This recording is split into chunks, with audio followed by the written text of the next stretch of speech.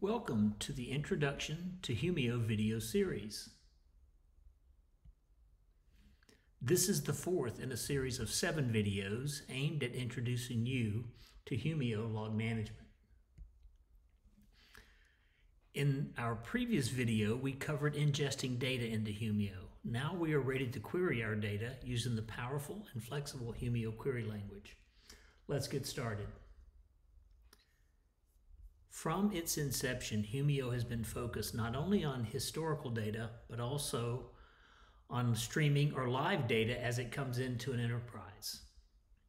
This enables faster responses by being able to have actionable data at the fingertips of those who need it. Humio offers just one language to handle queries across all your data. There is no need to learn different commands for handling different data, be it streaming, live, or historical.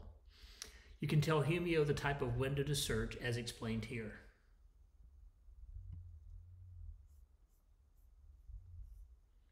The Humio query language is the syntax that lets you compose queries to retrieve, process, and analyze data in Humio.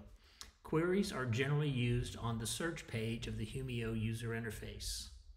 The query language is built around a chain of data processing commands linked together. Each expression passes its result to the next expression in the sequence, allowing you to create complex queries by combining query expressions. This architecture is similar to command pipes, a powerful and flexible mechanism for advanced scripting in Unix and Linux shells. Here is an example of a query where we are looking for errors with a given severity or higher we then do a count of those errors and check if it is an unusually high amount. It is important to do the majority of your filtering before the first pipe as shown here. In this case, we skip searching for log levels of info, warn, debug, whatever. We are only interested in errors. The key is to specify this filter scope before the first pipe. Let's dive into the Humio query language. As we do, you will see that it is a powerful collection of capabilities, operators, and functions. Some filter, some transform and augment, others aggregate data into result sets like tables or bucketed time series. This slide shows a brief overview. We will dive deeper throughout this presentation. You can filter for strings, regexes, and fields, as well as use conditionals via Humio's case function. You can transform and create new fields with a concatenate, replace, and eval. There's also a shortcut for eval using the colon equal to operator in an assignment statement.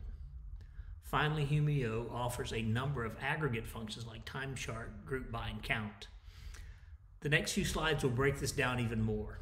If I advance the slide before you are through viewing it, simply pause the video and continue when you are ready.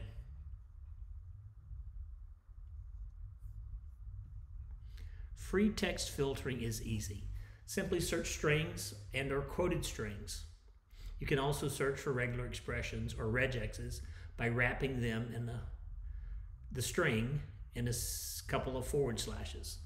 As you develop more complex queries, you may want to use the comment functionality by prepending a double forward slash to the desired text. This also aids in documenting queries for reuse and understanding by a broader audience.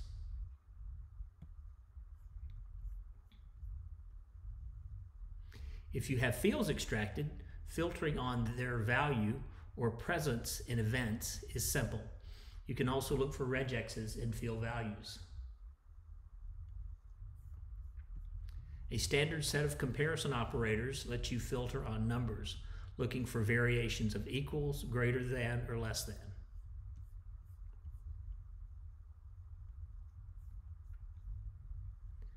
You can combine filters using the AND, OR, as well as the NOT Boolean operators and group them in parentheses. There's also a useful alternative of using the exclamation point instead of the keyword NOT. Last but certainly not least, Humio offers a rich collection of query functions. functions like count, group by, field length, and more. You can also augment or enrich fields using the match function, linking fields with CSV files or JSON files that has corresponding column or field values.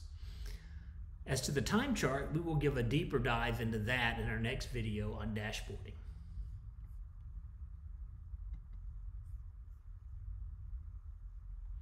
Let's take a look at how to get started using the group by function as an example.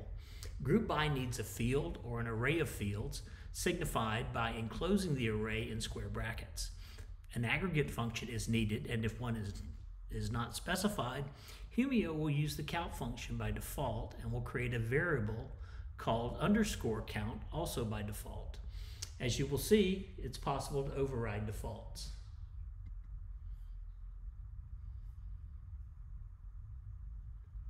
This slide illustrates the use of Humio defaults as well as explicitly specifying default values. In my beginnings with the Humio query language, I found this a useful technique to confirm my understanding of the syntax by understanding and examining the results shown. In this case, both, quer both queries yield the same results. Now let's get our hands dirty. I've started and stopped the data generation data generator in the Humio Made Simple tutorial. This will give me a specific number of events to verify my statistics by.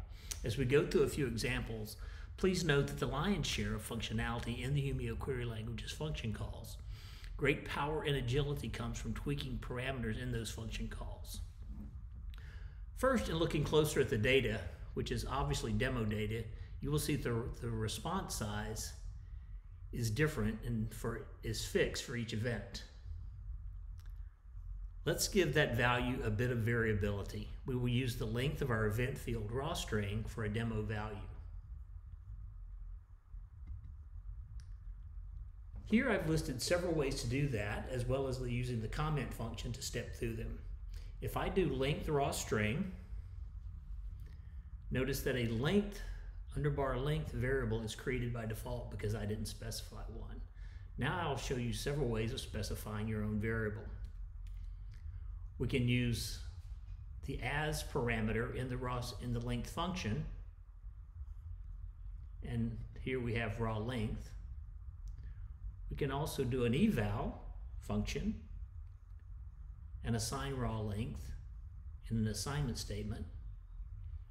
We can use the shortcut for the eval function and use the colon equals to do the same assignment. As well as we can replace the response size with the link to get the data result that we want.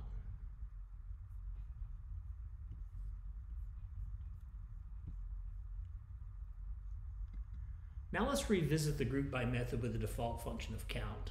Notice the count is created here, and by specifying the defaults explicitly, we can get the same result. Now we're going to build on this by modifying the default function. Here I've used my response size calculation as well as in addition to grouping by the method, I'm going to group it with the average response size and name that as average response size. So I'm using a completely different field instead of the one that was originally done and specified. And that calculates my average response size. Now suppose I wanted to replace that with max.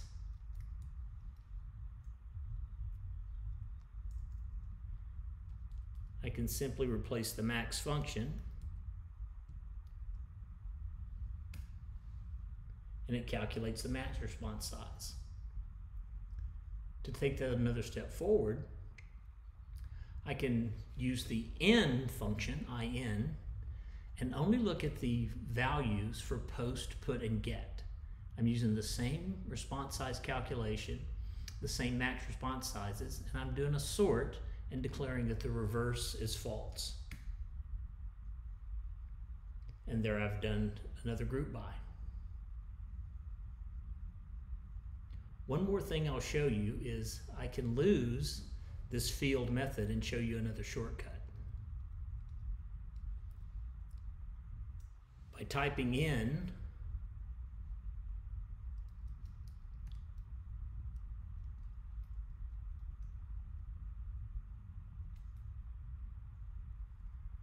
the tilde equal sign. I can use that as a shortcut for anywhere the field parameter is required. We hope you found this video useful. Stay tuned, there's more to come.